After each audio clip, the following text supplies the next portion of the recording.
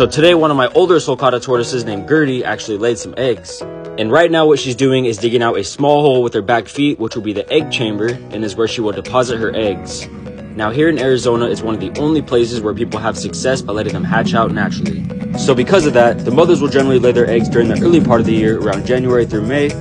Then during the hot summer, they will safely incubate in the ground where the ground is very hard and there's never any gophers or bugs or things like that getting to them. And when the babies are ready to hatch out, it's usually around July through October during the monsoon season where it rains a lot, making the ground very soft for the babies to dig out themselves.